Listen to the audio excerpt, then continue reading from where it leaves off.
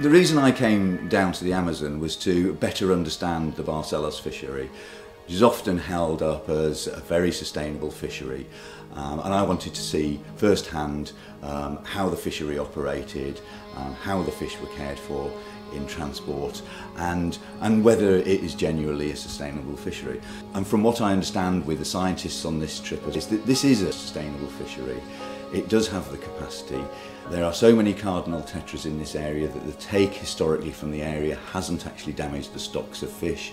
Fish that might otherwise anyway die when the water levels recede to a certain point, either through predation or drought. Trade in itself can be beneficial to the wider environment, providing jobs in some very low income communities in some very poor parts of the world. Jobs that actually are very low impact in terms of the carbon footprint on the local environment. Jobs that if weren't there may lead those local communities to taking up other potentially more destructive occupations could be logging, it could be agriculture.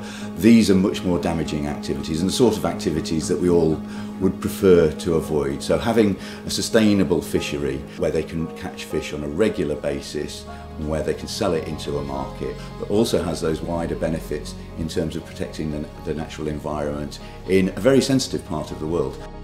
And I would certainly encourage people to learn a little bit more about the Barcelos fisheries and about other fisheries globally. There are many sustainable wild caught fisheries around the world which, because of those fisheries, the habitats surrounding the fisheries have been maintained in a condition that they would not have otherwise. There are coral reefs that are only there because there's a fishery there.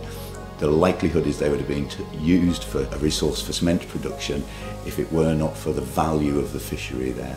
These fisheries are extremely low impact on the environment and as an industry where there is a negative impact on the environment, we will do what we can to get rid of that impact.